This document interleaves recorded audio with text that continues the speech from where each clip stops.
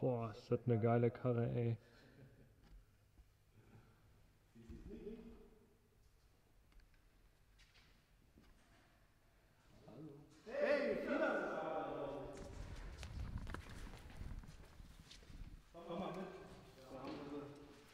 Unsere Pianistin ist gekommen. Unser Act für heute, Fidan, die Wahnsinnspianistin. Wo sie herkommt, muss sie uns selber nochmal erzählen. Ich habe es ehrlich gesagt vergessen. Sie hat sich total spontan bei uns gemeldet. Ähm, wir sind in die Musikbrauerei gefahren. Wir sind in die Musikbrauerei gefahren und haben alles aufgebaut. Und jetzt ist sie hier und kann das Konzert spielen. So, Fidan, wo bist du denn? Hallo! Hey, grüß dich. Na, Na? herzlich willkommen. Dankeschön. Hey, wie, geht, wie gefällt's dir hier? Ähm, also erstmal ziemlich cool, aber ich weiß nicht, ist es, es soll so sein drin oder ist es so schön wie ein Konzertsaal? Eine richtige mit so fancy. Du bist in der Rumpelkammer gelandet. Das ist Okay. eine richtige, richtige Abstellkammer heute. Okay. Ähm, und Kann man äh, da spielen? da Gibt's da kann einen man spielen, Flügel? es gibt einen Flügel da. Okay. Wir können mal Das ist hingucken. Wollen wir mal hinschauen? Ja, gern. Alles klar. So. Warte mal. Währenddessen wird hier nochmal ein Strom an die Kamera gebaut, weil sonst geht uns die gleich aus. Nee. Hauptsache Abstand halten. Ja, Hendrik steht mit ausgestrecktem Arm da und versucht hier den Strom reinzupopeln, während ich die Kamera versuche ruhig zu halten. Für mich gar nicht so einfach. Aus anderthalb Metern Abstand. Soll ich das mal machen? Ich mach das mal. So. Sekunde, Leute. Der Nüppel muss immer nach oben. So. Läuft. Jetzt noch den Händel dran. Den Georg Friedrich, wie ich ihn auch zu nennen pflege. Und jetzt hat er die Kamera wieder. Okay, komm, wir schauen uns mal den Laden hier an. Wieder? Ja. Achso, der Hendrik muss ja vorgehen, sonst. Äh,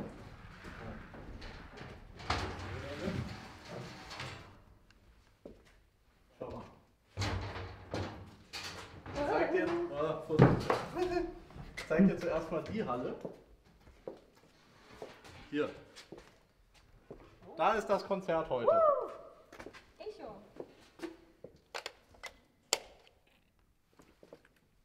Ja. Also, aber hier gibt es keinen Flügel. hier gibt es keinen Flügel. Nee, aber vielleicht erkennst du den Raum. Dein Kollege Jan äh, Ja. Gerdes hat hier drin gespielt. Stimmt. Ähm, und normalerweise finden hier, wie gesagt, auch äh, Konzerte statt. Ähm, nur aber eben über diese gesamte Corona-Zeit nicht. Und wir können den Laden hier netterweise nutzen für unsere Livestream-Konzerte. Ähm, und es sind Baumaßnahmen, wie man sieht. Ne? Alles verhängt. Ähm, in die Rümpelkammer kommen wir aber noch, weil ich glaube, hier wird gebaut drin. Ähm, und die andere Halle wird auch ausgemistet und die Halle, in der du spielst, absolut zugehauen mit Zeug. Das ist Na, wirklich eine gespannt. Abstellkammer. Jo, wie bist du hierher gekommen? Durch den Regen? Ja, mit dem Schirm. Du siehst erstaunlich trocken aus dafür. Ja. Der Regen hat für mich extra 10 Minuten angehalten, weil ich äh, wohne ja nicht so weit von hier, Wo wohnst du? im Weißensee. Und meine Tochter geht direkt gegenüber von Musikbrauerei zur Kita, aber jetzt gerade nicht. Wow, das ist cool. Aber genug Platz. Und hier, ist der Flügel. Schön. Alles aufgebaut. Mhm.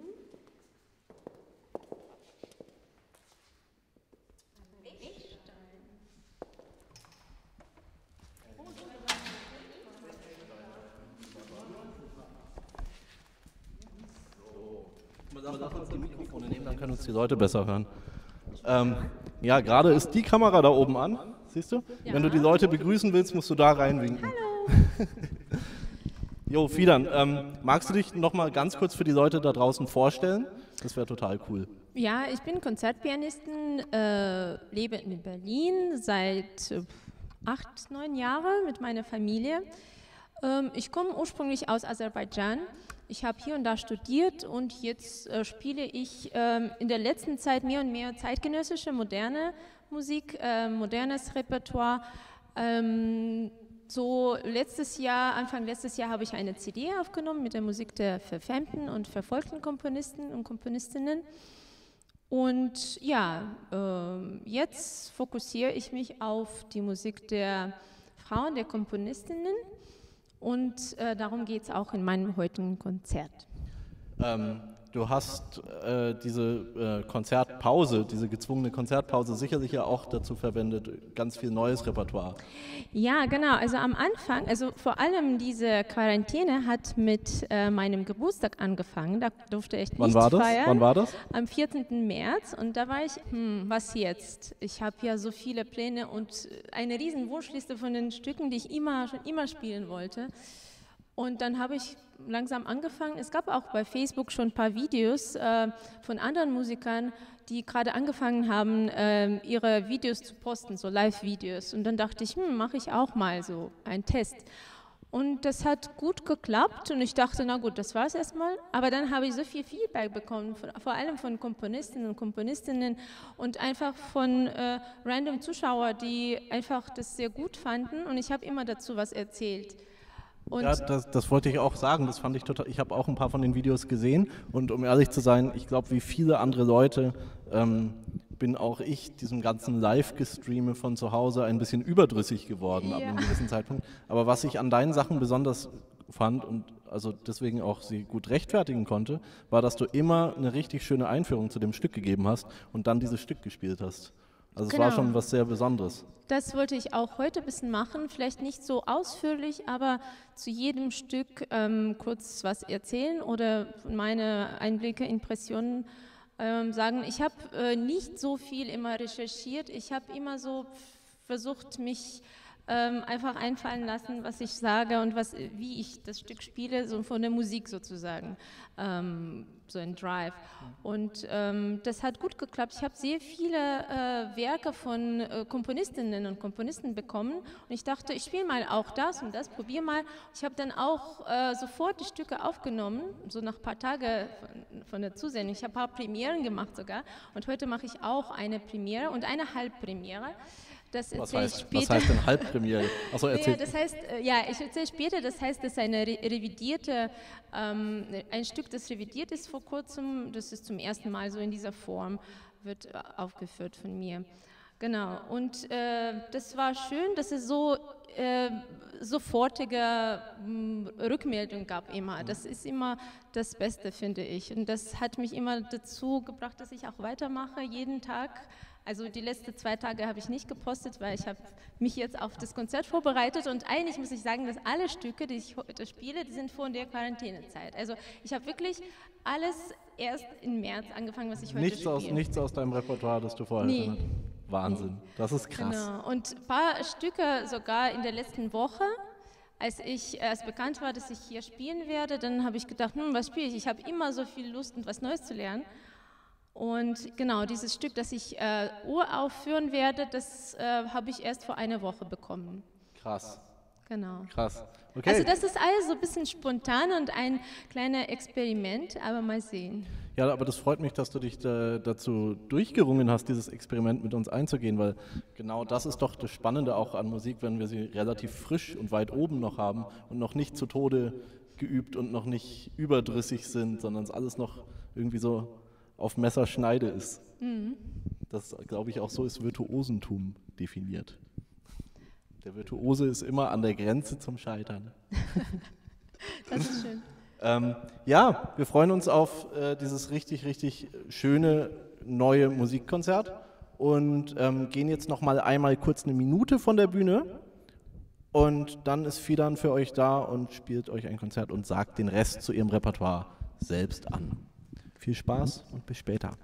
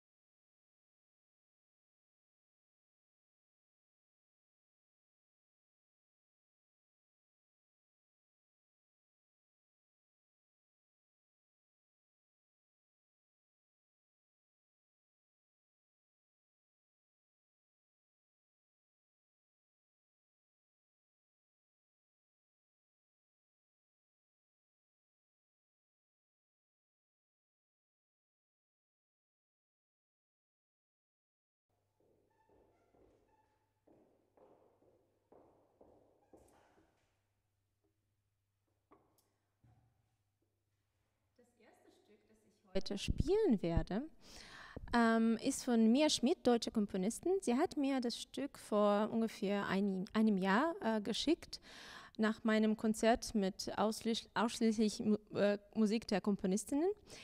Und ähm, sie hat dazu geschrieben, dass ähm, Inspiration für dieses Werk war ein Stück von Lili Boulanger. Das war auch eine Komponistin ähm, von frühen 20. Jahrhundert. Und in beiden Stücken ähm, handelt es sich um Heiterkeit. Also das ähm, heitere, vielleicht ein bisschen leichtsinnige Stück von Lili Boulanger war sozusagen eine Quelle äh, der Inspiration für Mia Schmidt. Und sie hat ähm, ihr Tempo, äh, den Hauptton H genommen und diese schöne Stimmung. Zuerst spiele ich das Stück von Mia Schmidt, danach muss ich eine kleine Präparation rausnehmen aus dem Flügel und dann kommt das Stück von Lili Boulanger-Cortège.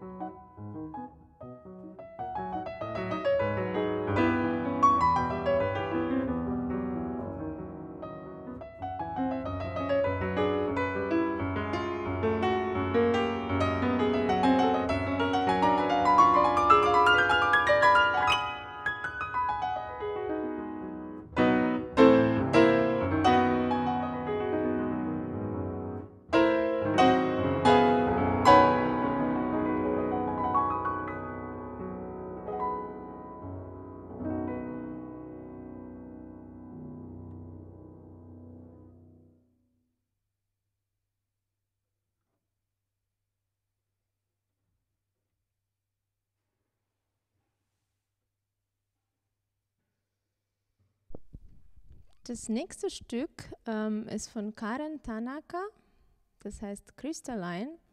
Es handelt sich auch um diese hohe Landschaften, ähm, die Vögelzwitscher, die ganz oben passieren im, ähm, im Klavierbereich. Und ähm, es hat damit zu tun, dass äh, Tanaka hat sich auch sehr viel äh, beschäftigt und sich äh, gewidmet an äh, die Naturschutz und sie hat sehr viele Stücke äh, zu diesem Thema geschrieben, nicht nur fürs Klavier, sondern für auch andere Instrumente.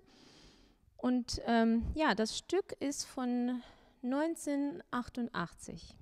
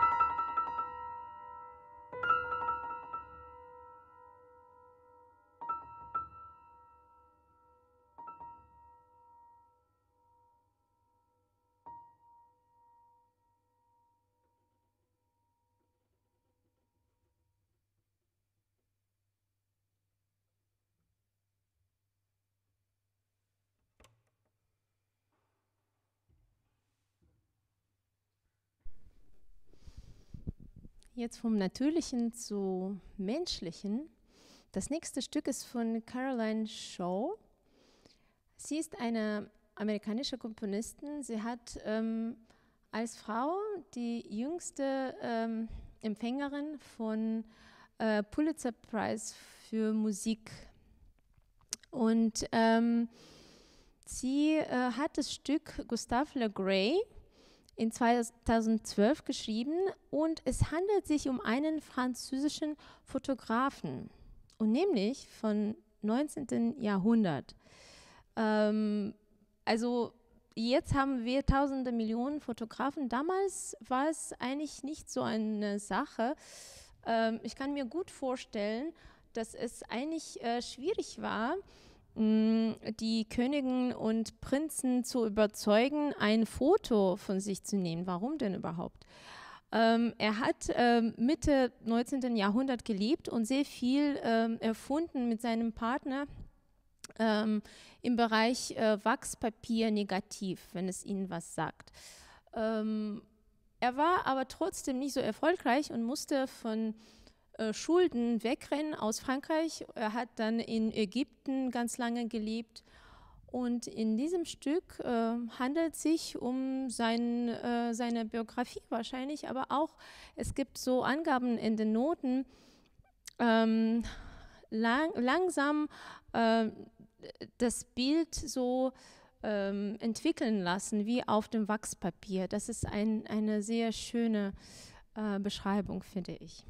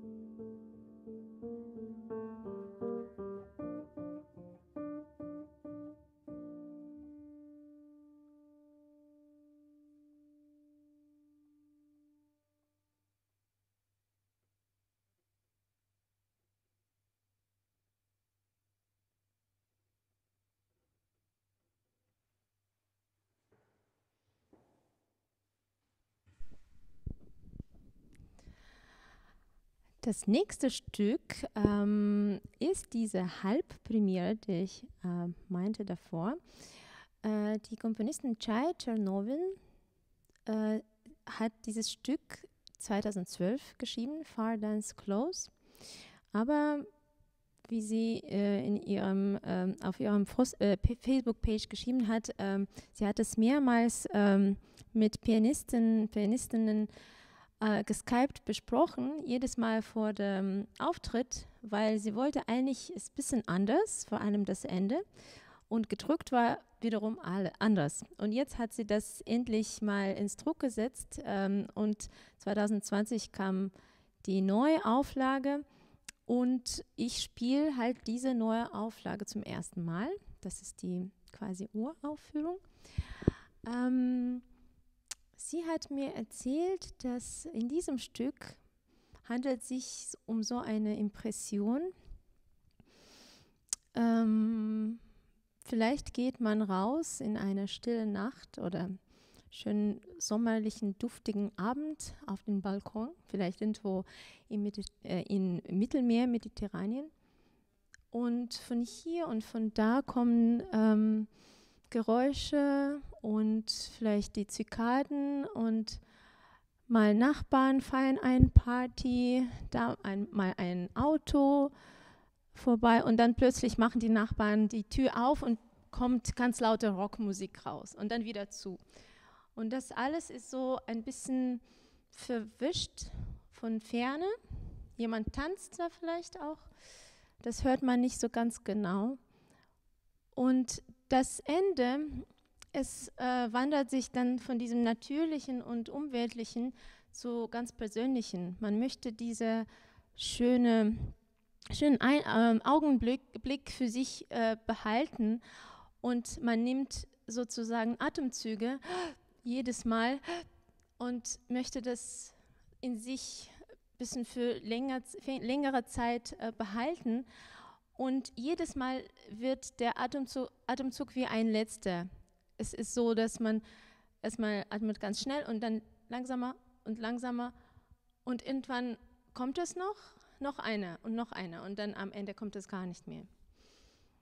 Ähm, ja, das ist ein kurzes Stück und lange Introduktion.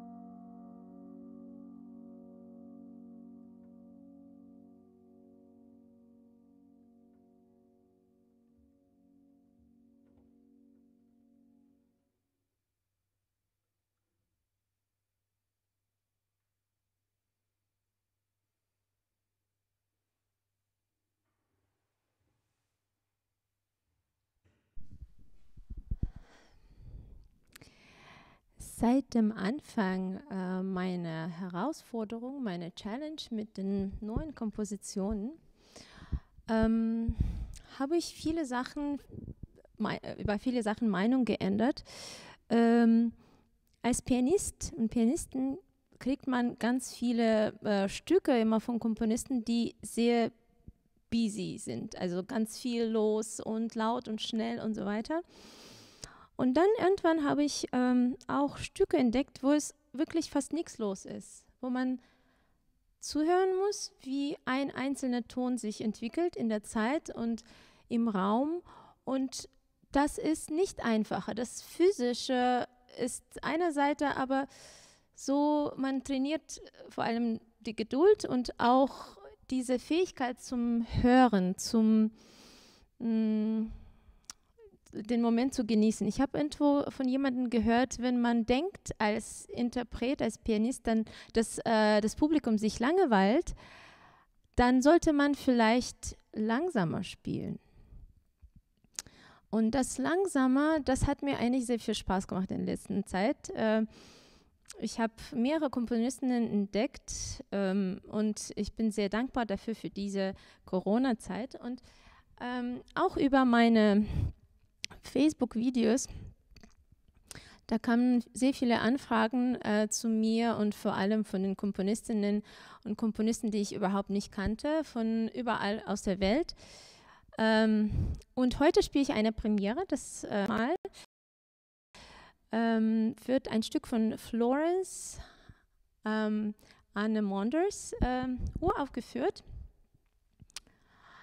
Das Stück heißt Stuck Inside, also drinne gefesselt. Man kann das ähm, als diese Corona-Zeit, ähm, ähm, ja, dieser Übergang, diese äh, Situation, wo man drinnen bleiben muss und vor allem äh, mit sich selbst sehr viel äh, zu sein, aber auch als äh, gefesselt in eigenem Körper.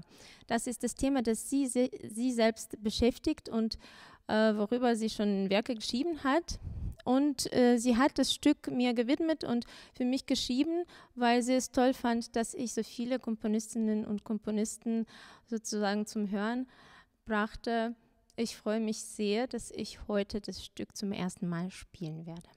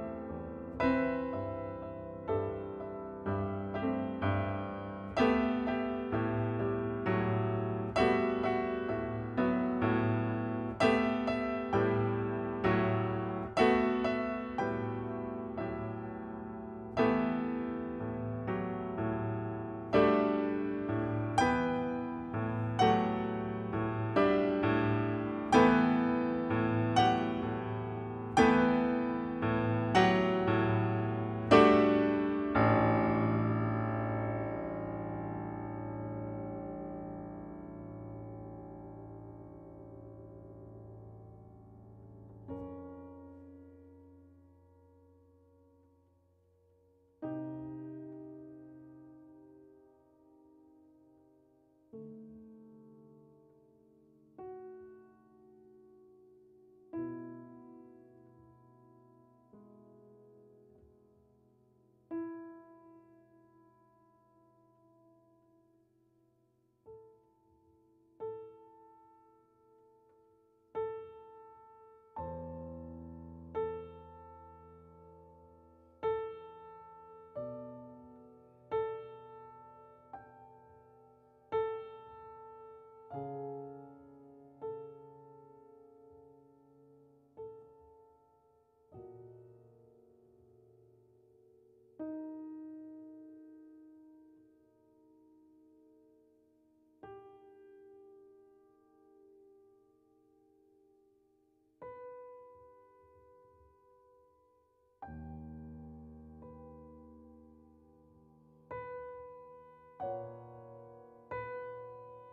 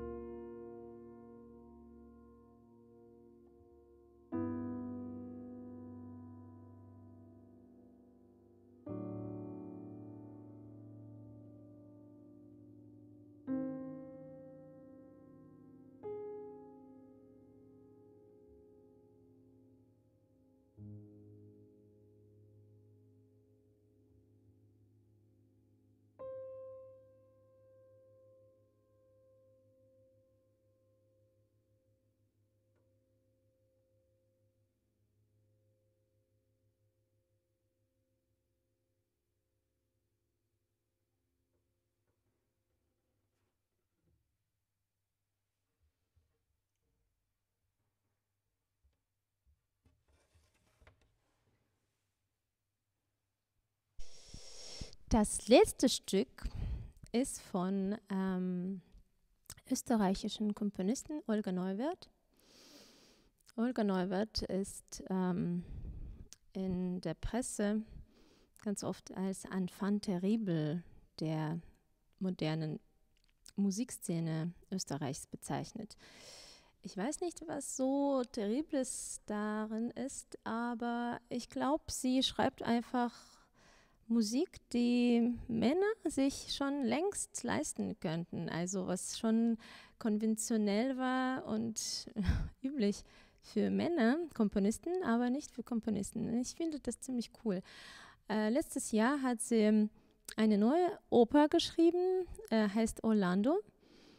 Und diese Oper ist in der Wiener Staatsoper aufgeführt und das war somit äh, die erste Oper, die von der Frau geschrieben ist, äh, die in Wiener Oper aufgeführt wird. Das ist auch ziemlich cool und es ist basiert auf einer Geschichte von Virginia Woolf, äh, Orlando. Ähm, das Stück, das ich spiele, heißt Troll Teacher Tinkle. Ich konnte nicht so richtig finden, was das heißt. Vielleicht ist es meine Schuld, dass ich sie nicht gefragt habe. Aber ich mache das äh, ungern, weil ich mag die Geschichten selbst mir auszudenken. Und das ist ein sehr lustiges Stück und auch ein sehr wahnsinnig ähm, physisch schwieriges Stück für Klavier, fürs Klavier. Aber das macht wahnsinnig viel Spaß und ich freue mich total, das Stück heute zum ersten Mal zu spielen.